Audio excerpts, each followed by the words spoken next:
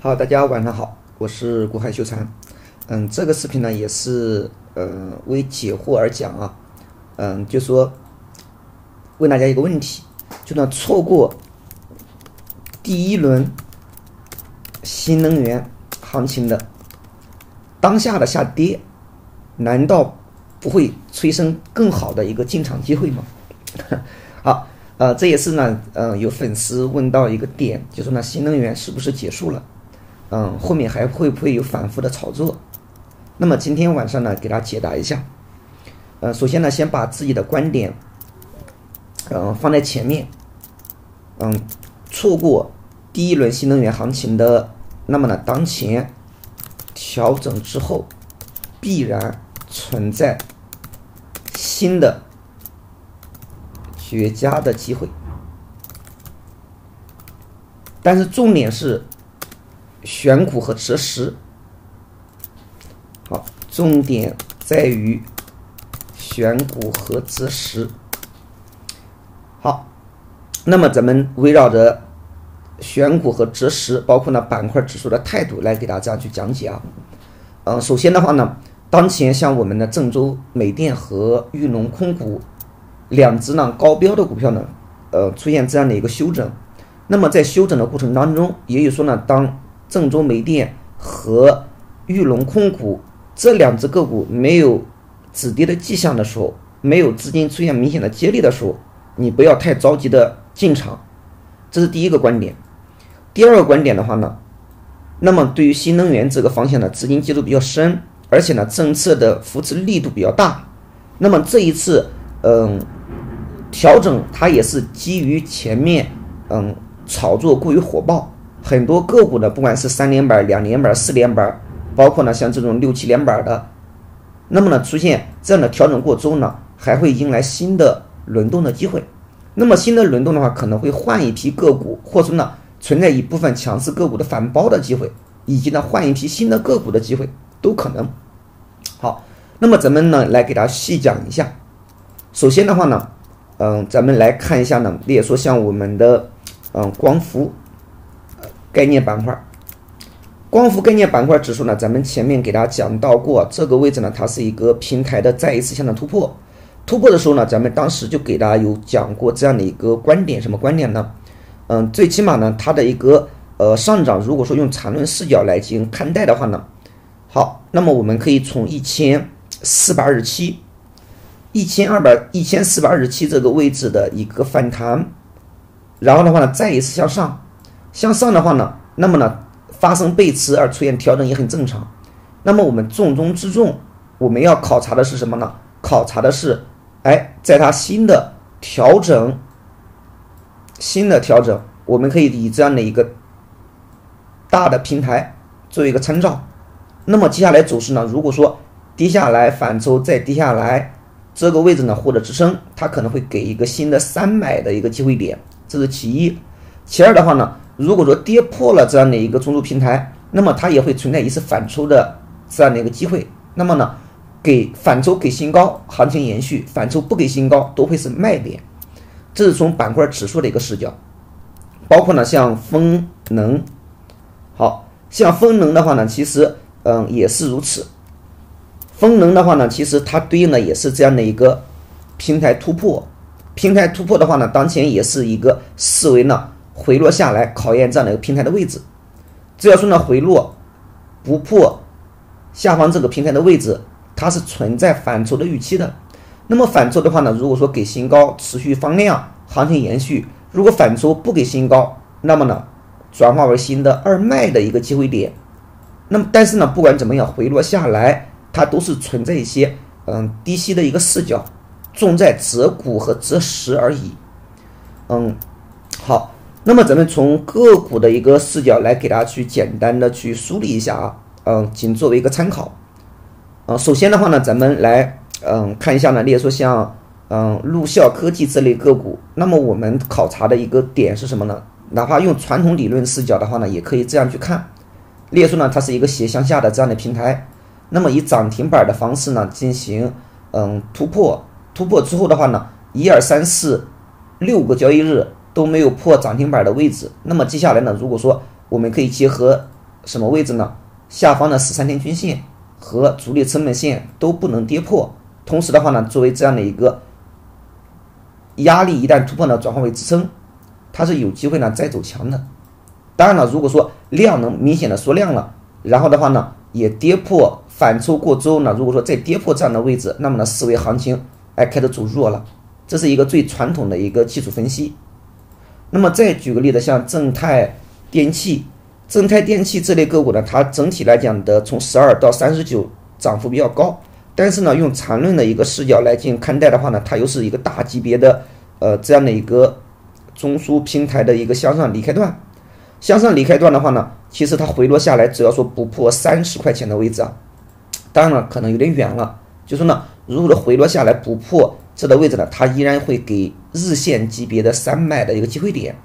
当然了，像这类个股的话呢，可以参考的是，嗯，主力成本指标和一百四十四天均线作为一个参考点，因为它是属于大的平台突破，更容易看趋势。好，那么小的一个维度的话呢，那么就是看当前列出呢在三十三块八附近的位置作为一个参考点，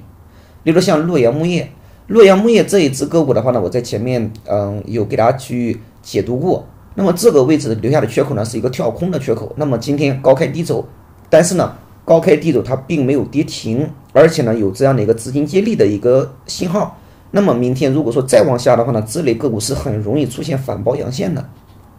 就是这类个股的话呢，如果说撇开历史看当下，它是一个高位股的，就是属于什么？属于高位股的补跌或者强势股的杀跌。如果说你把历史的行情放在一块儿呢，它是属于大的平台突破，大的平台突破之后给回踩不是很好的一个事情吗？只要重点考察会不会破这个位置。就说呢，很多时候，嗯，有没有机会，能不能参与，它取决于什么呢？取决于你在参与之前，第一，你对这个方向是否认可，你不能孤立的看待个股；第二个呢，方向认可的基础之上。你在技术上面有没有一个支撑点？这个支撑点的话呢，就是说，哎，用什么方法，我能承担什么风险？然后呢，我能够在这个风险的基础上面提前设好止损。你只要说有这样的一个动作，有这样的一个纪律和习惯，没有不可操作的行情，只有不可操作的个股。大家可以，当然这一点呢，可能对于很多朋友来讲要求更高了一些，就是呢。行情来讲，有好的时候，有坏的时候，有二八分化的时候，有八二分化的时候。但是呢，个股来讲的话呢，它一定要对照一定的方向、技术走势和对应的一个交易体系和纪律。如果说没有这些东西，行情好坏与你是无关的。行情好的时候，你不见得能赚钱；行情跌的时候呢，可能你会出现巨大的亏损。那么像洛阳木业这样的个股呢，它更适合这种短线的强势股反包的一个逻辑去看待。所以说呢，像这只个股呢，像洛阳木业六零三九九三，那么呢，接下来如果说再往下，我的一个分析和经验来看的话呢，如果说再往下的话呢，它可能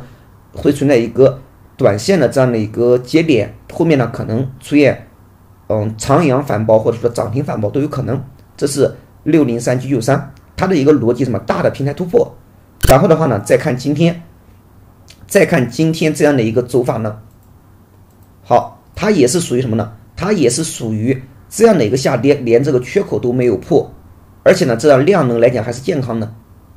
好，那么像格林美的话呢，这我在前面有点到过，说呢，嗯，再往上偏离五均可以随时先分批止盈，但是呢，如果说再往下调的话呢，再往下调也可以用这样的一个视角来去看，这也是大级别的，因为低点的话呢，从三块七毛三以来，低点是在抬高的，这是一个视角。第二个视角的话呢，我们用缠论的中枢的一个角度来看，它也是一个大级别的这样的一个嗯中枢形成向上离开段，那么回落下来呢，在在这样的一个一方面呢是前面的交替整理位，也说呢在前面这个小的平台、大的平台、小的平台上沿附近，那么它也会遇到这样的一个支撑。如果说回落下来不破，它最起码呢会存在一次反抽的机会点。难交易的难点在什么地方呢？如果说像风向标、郑州煤电和玉龙控股还在下跌的时候，还在加速下跌的时候，还在持续往下跌的时候，你没有必要这么着急的去接飞刀。如果说像这些风向标已经遇到明显的资金接力，那么呢，个股在下跌过程当中位置上面相差不大，然后呢，在盘口上面又有明显的大单在进场，大单在进行抢筹，你顺势把握这种超短、超短的这种低吸高抛是可以的。所以说呢，嗯，这里面的话它涉及到一些经验的东西了，就是呢，不管是用咱们缠论交易法，还是用这样的一个大平台的一个视角，还是用咱们呃牛股掘金的一个视角，就说呢，大家一定要结合。像，嗯，如果说行情环境好的时候呢，位置对了，交易的节点也就对了。如果说大的行情环境不是特别好，它需要呢位置结合时间，而时间呢是参考资金的时间。好，那么再列出呢，像清源，嗯，股份，清源股份的话呢，这类个股，因为它在上一次冲高也没有突破前面的十一块六毛九，它的一个定位的话呢，只能视为一个。嗯，大的这样的一个斜向上的平台内，它并并不属于突破，并不能属于突破。所以说呢，像这类个股呢，考察如果说主力成本线都跌破了，那么呢，短时间也没有必要操作了。好，那么再往下呢，像多福多，咱们就不讲了，这是很早之前在这个位置讲过的一只，当时呢用的是，嗯，也是呢从行业龙头的一个角度去分享的，其实。当时点到过呢，其实到现在已经是将近百分之五十六十这样的一个涨幅了。那么列出像亚太股份，亚太股份这一只个股的话呢，很明显它是一个，因为横盘的时间足够长，横盘的时间呢足够长，这就决定了这个支撑的作用足够强。那么它在六元的位置呢，是一个非常强有力的支撑位。如果说像这类个股啊，它要是回落下来，连续两天的调整，在我看来呢，反而是好事情。如果说呢，但是呢，我们要注意一点，如果说再往下的话呢，跌破主力成本线了，然后呢，再往下的话呢，跌破了十三天均线了，怎么办呢？不着急介入，等阳线的时候呢，站上再买。如果说这个位置呢，哎，开始没有继续往下跌，而出现了持续的资金接力，其实呢，它是已经是靠近这样的一个嗯低吸的这样的一个节点了。这是亚太股份零零二二八四。当然了讲这么多啊，就说呢。嗯，重点是什么呢？重点就是说，我们要结合第一个呢，对方向的认知，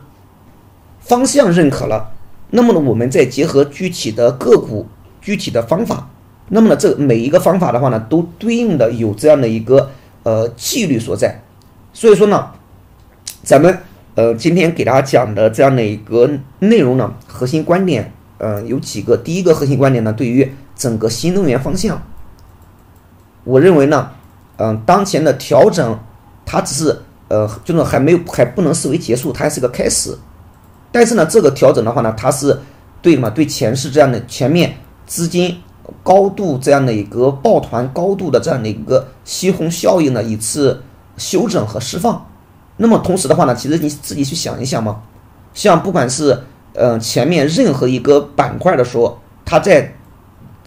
催生的过程当中，是不是也出现多次的修整啊？不管是酿酒也好，新能源车也好，包括最早的时候像那个医药也好，任何一个板块，任何一个主流热点，它的一个运行的过程当中，中间是不是也会面临多次修整？但是修整过之后，考验的是什么呢？考验的是资金散不散。资金如果散了，你不散，就是资金都已经重新选赛道了，资金都已经整体来讲出现这样的一个呃离场了，而你还在里面去坚持着。这种坚持是一种很傻、很天真。反之，调整过之后呢，如果说资金整体来讲它并没有散场，而是呢换了一些内内在的一个轮动，换了新的方向，资金的这样的一个呃资金整体来讲的话呢，还保持这样的一个高度的一个层级，那么它反而呢会给这样的调整，反而会给新的更好的一些进场的一个机会点。这是我的一个观点和视角。当然了，当前的话呢，主要是大的环境啊，不管是创业板和上证指数呢，它的一个调整只是呃还没有完，就是还不能视为结束。然后呢，新能源的话呢，像龙头郑州煤电和玉龙控玉龙控股，郑州煤电和玉龙控股呢，在这样的位置，它呢，其实你不能认为调整一天就结束了。但是后面我们要密切关注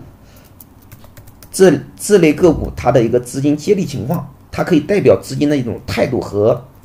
呃一种。嗯，对这个方向的态度，所以说呢，嗯，我个人认为，对于新能源方向，嗯，如果说再往下调的话呢，反而可以去把握一些，呃，存在反保预期的个股的机会，存在一些，就是呢，嗯，大的平台突破，下方有强支撑的，一旦遇到资金接力，又是好的一个上车的机会。反之，如果说没有这样的调整，持续高歌猛进，踏空的，你只能眼睁睁的看着上涨，只会更恐慌。所以说呢，嗯，在我看来。耐心的等一等，多去观察观察。第一呢，因为对于咱们，嗯，昨天晚上的一个，对于咱们前面的观点呢，给大家讲，龙头一倒，拔腿就跑。你只要说这一步反应对了，那么下一步的话呢，就等待资金缓过劲儿来，重新选，再一次选择方向的时候，我们跟上资金的步伐。这个资金怎么看呢？不要看单一的个股，一个风向标，一个是整个板块的资金效应。只要说整个板块的资金效应始终保持在一个比较高的这样的一个范围里面，就举个例子，像新能源车，举个例子啊，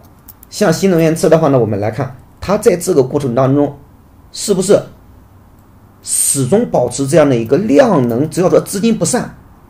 调整一次，调整一次，调整一次，调整一次，调整一次，调整一次，但是它的核心是什么呢？资金没有散场。资金没有散场的话呢，调整过之后，只要说资金起来，整个机会就起来了。那么我们再给大家举一个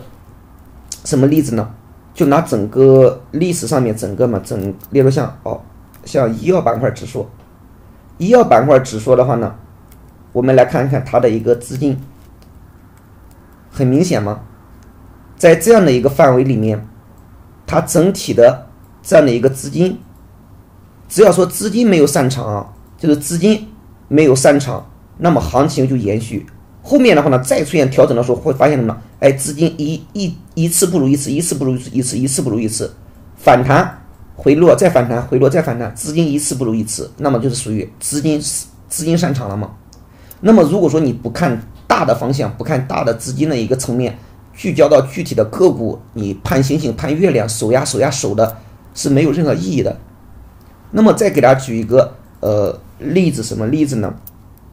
好，嗯，再例如说什么？再例如说像五 G，我们来看五 G 板块指数的历史，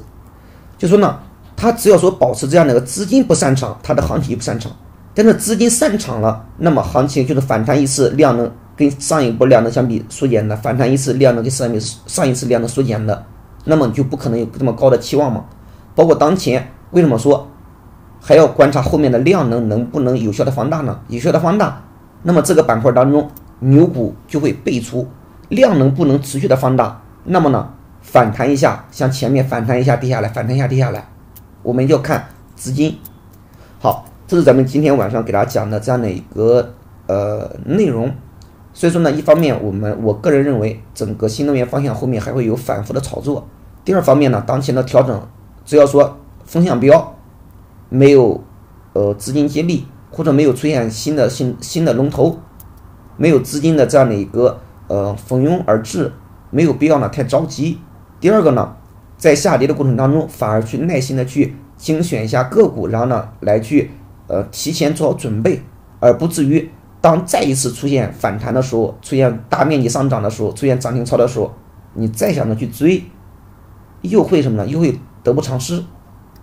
好。这是咱们今天晚上给大家讲的，呃，主要的内容。嗯，就说呢，再往下进行调整，可以呢精选个股去准备着。如果说位置